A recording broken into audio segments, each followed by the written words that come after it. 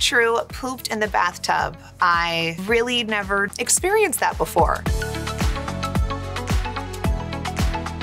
What is a warning you're going to give to someone about to have kids?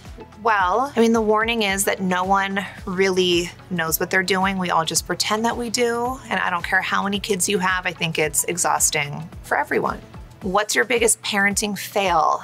Well, right, my daughter's three. So right now, maybe it's too young to tell, but call me when she's 13. I'm sure I'll have quite a few. What's the biggest difference between you and your sister's parenting styles? Um, I am really strict. I have a schedule. I'm very militant with how I parent True, and I believe that a schedule saves everything. And not all of my siblings are the same. I will not tell you which ones. What's something you've had to learn on the fly as a parent? The time True pooped in the bathtub. I really never experienced that before. I didn't know people just pooped in the tub. It was disgusting and ugh, I don't want to relive it. But yeah, I had to learn that on the fly. What's a lie you recently told your kid? If she made this funny face again, it's going to stay like that. Parenting trick you learned from your own mom. If you don't want something, just say you're allergic. And then how can they prove you wrong?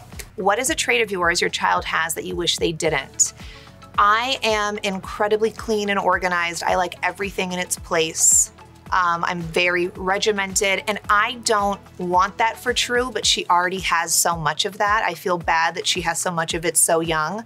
But every toy has to be put back exactly where she got it from, not from me. That's what she does. And I always just try to mess things up and tell her it's okay to live in a mess. Although I'm cringing inside, I don't want her to cringe. So she has that, and I wish she didn't. What's something you swore you'd never do as a parent that you do now? When we go out to restaurants, I do give True my iPhone to watch YouTube so I don't have to hear a freak out. What's your favorite thing about being a mom? I think all of it. I'm so in love and obsessed with my daughter and just seeing life through her eyes. I wouldn't change a thing.